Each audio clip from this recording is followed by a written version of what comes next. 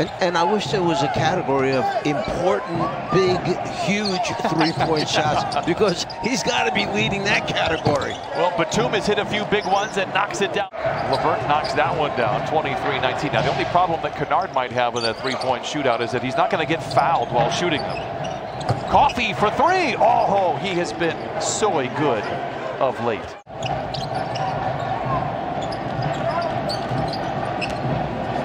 Coffey down the lane, counted and a foul. People haven't figured out how fast he is. They don't realize how much ground he covers. They wind up standing and reaching.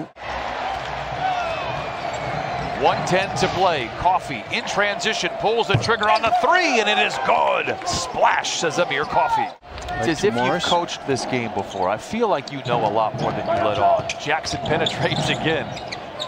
Coffey alone in the corner for three, and the Brewmaster heating up Amir Coffey with 14. Of double teaming the ball leads to a wide open shot in transition.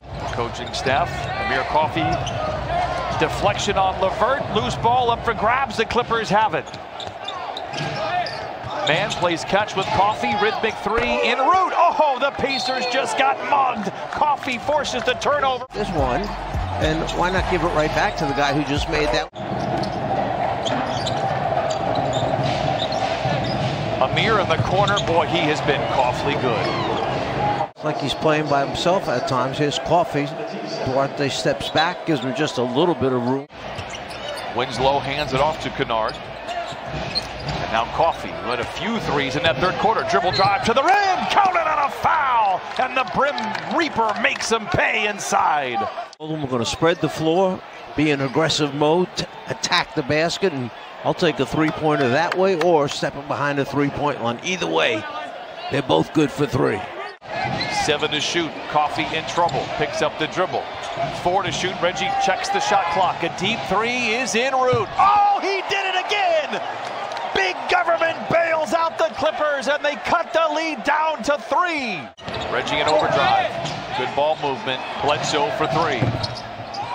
Halfway down. Rebound goes to Coffey on the refill and lays it in. Amir Coffey now at 25. All out in the fourth quarter, scoring 37 against the Clippers. Yeah, the Pacers took turns, different guys stepping up, having a career nights, playing big for them, led by Caris LeVert. Gives to Bledsoe, eases into the three. Coffey with the rebound, back to Bledsoe. Well, target practice here for the Clippers, and that will do it. Um, I don't know. I'm just trying to stay consistent. Um, you know, stay within our game plan, continue to be aggressive. Uh, you know, just give the team whatever we need from a night-to-night basis. Um, you know, sometimes it's guarding different people, playing different positions. Um, you know, just trying to trying to fit in where I get in. Uh, I mean, just just repetition. Uh, been putting a lot of work in.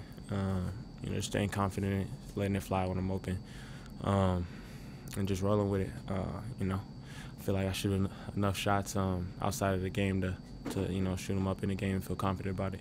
Um, you know, make or miss.